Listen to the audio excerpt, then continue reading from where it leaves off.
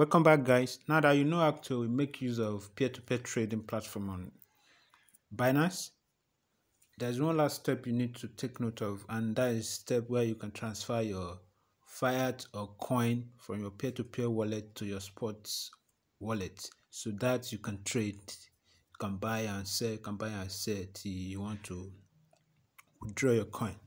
Now that you know how to activate the coin, you know how to make the transaction to get the coin or your fiat currency, the next thing for you to know is that after the transaction is completed, is for you to transfer it from your peer-to-peer -peer wallet to spot wallet. Now let me show you how you can do that. Now when you come back to your Binance app, all you have to do is go to the wallet section. When you click on the wallet section, let me go back to the overview. When you click on the wallet section you see the overview. This is the overview of the portfolios in your wallet. Now you are dealing with peer-to-peer. You come to this peer-to-peer section after you must have paid for either your fiat currency or your coin. Then when that coin is when the transaction is completed you will see it under your peer-to-peer section here. And all you have to do is click on peer-to-peer. When you click on that peer-to-peer, it brings you to the peer-to-peer page. Now, when you want to transfer that coin or that fiat currency to your spot wallet, this is what you will do. You click on transfer. And you know, you can see this first section, it says send. This is this first section send is useful when you want to send your access to other Binance accounts. For example, if your brother or sister has an account, you want to send your maybe a fiat currency or coin to that account on Binance, you can use this send section. And don't forget, you are in peer-to-peer -peer wallet.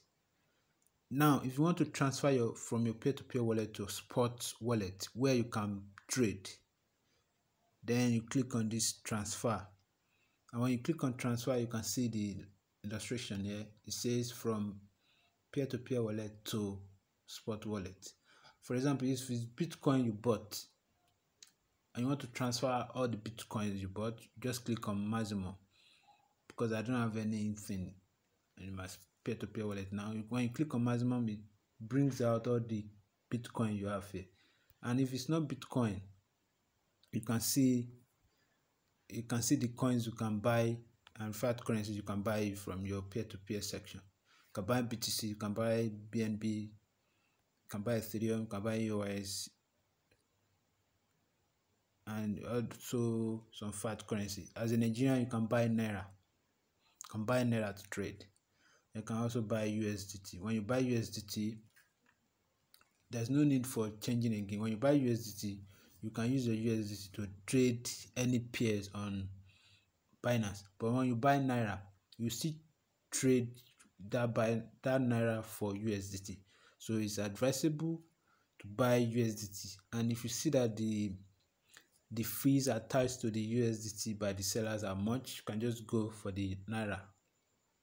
Now, for example, if I want to transfer my Naira from P2P wallet to Spot wallet, all you have to do is this click on and when you click on maximum you select all the naira you have then click on transfer.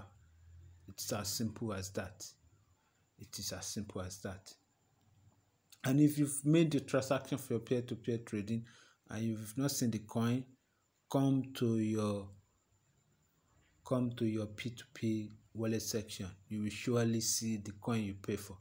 And that's it guys. That's how to simply make use of peer-to-peer trading on Binance. There is no issue with it and it's so smooth. Within 5 to 10 minutes, your transaction is done. The transaction is done, transfer to your spot wallet and then start trading or start making your money. See you in the next video.